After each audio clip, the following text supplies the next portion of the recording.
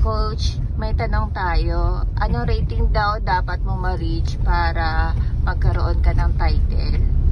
Kung sa FIDE titles ang pag-uusapan natin, ang CM or Candidate Master, alam ko 2200 para i-apply. Ayan. Pag naman sa FIDE Master, 2300. Pag naabot mo yon and then at least mayroon kang 30 or more rated games, apply mo lang sa federation natin para may apply ng federation natin sa FIDE. Tapos may bayad yon. Sa International Master naman, 2,400 ang kailangang abutin or 2,400 plus 3 IM norms. Sa Grandmaster naman, 2,500 rating, 2,500 plus 3 GM norms. Yun ang kailangang gapangin o maabot. Sa National Master dito sa Pilipinas, may narinig ako, alam ko, 2,200 din to apply.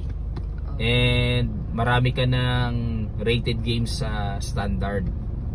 Basta, all titles na kukuha sa long game. Kaya dapat magpalakas, dapat magaling sa long game. Yon.